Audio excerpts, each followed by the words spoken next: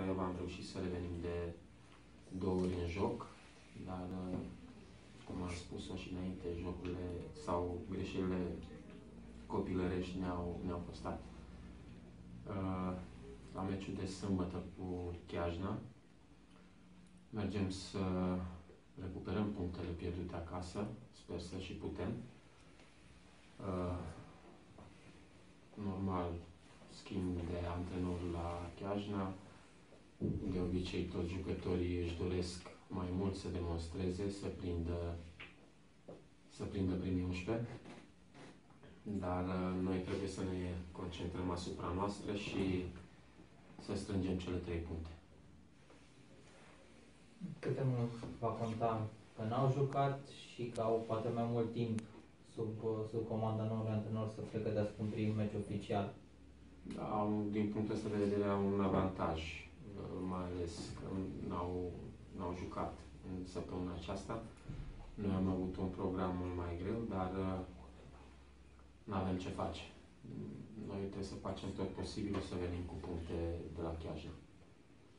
Antrenorul, chiar dacă are mai mult timp, dar într-o săptămână nu știu, sau nu cred, cel puțin, să schimbe prea multe lucruri, având în vedere că, chiar dacă cunoaște jucătorii, dar uh, un sistem sau altul nu se poate implementa de pe o zi pe alta. Și au revenit toți uh, jucătorii sau mai avem... Nu, din păcate nu. Uh, Herea e accidentat în continuare, Isa nu și-a revenit 100%, dar uh, și-a revenit Philip, ceea ce este un lucru pozitiv pentru noi. Și Petre. Acum sperăm să putem să aliniem, sau să putem, să, putem să aliniem cel mai bun 11 la meciul de sâmbătă, să putem să câștigăm cele trei puncte. L-ai avut pe Milan Petkovici tot meciul acum pe, pe teren. Cât de mult crezi că a influențat în ceea ce înseamnă uh, jocul ofensiv, posesie, a, și recuperărilor, că a apărut un om care a fost uh, pus și pentru, pentru partea asta acolo. Cât de ușor s-a integrat și cât de bine ai văzut că s-a integrat? Eu zic că Michi s-a integrat uh, foarte repede. Se vede că are experiență, este un jucător bun. Uh, de astfel de jucători avem nevoie continuare dacă mai aducem jucători cu mentalitatea lui, cu abordarea lui și cu dorința, dorința de a performa de la etapă la etapă. Chiar și în, în antrenamente se comportă foarte bine, băieții l-au primit foarte bine și asta se vede și în teren. De randamentul lui putem să spunem că suntem mulțumiți.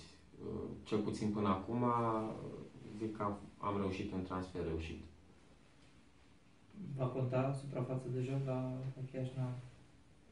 Normal. E o suprafață cu uh, sintetică, e diferit.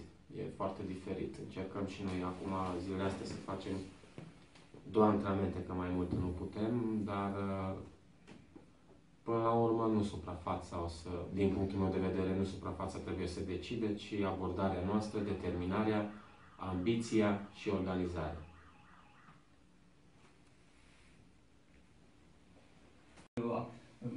Cum ai văzut ca fundaș, unde ați greșit și care sunt lucrurile care trebuie îmbunătățite pentru viitor?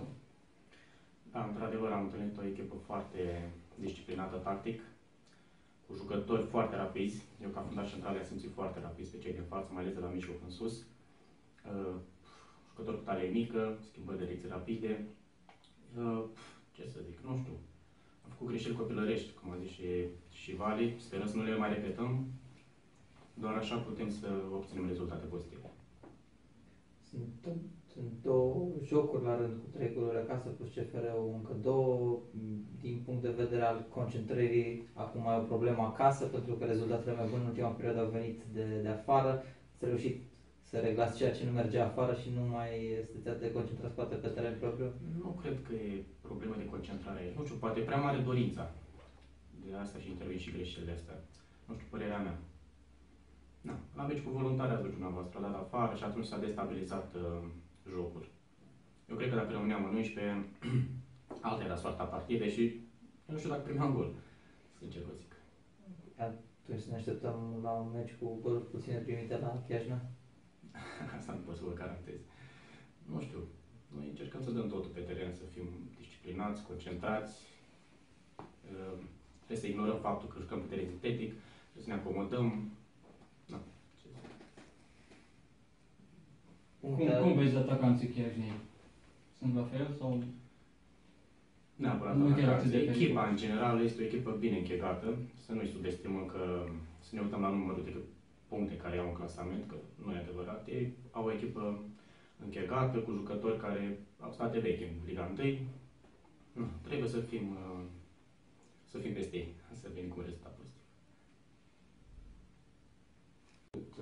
Nu întotdeauna când e o schimbare în cadrul unui uh, grup și la ei s-a schimbat antrenorul, normal, cum am spus-o și înainte, toți jucătorii sunt uh, mai motivați, își- își doresc să se afirme uh, în fața noului antrenor, ambiție mai mare, sper ca noi să, să putem să facem un joc consistent, să fim organizați, foarte organizați și, cum am mai spus, să nu facem greșeli copilărești.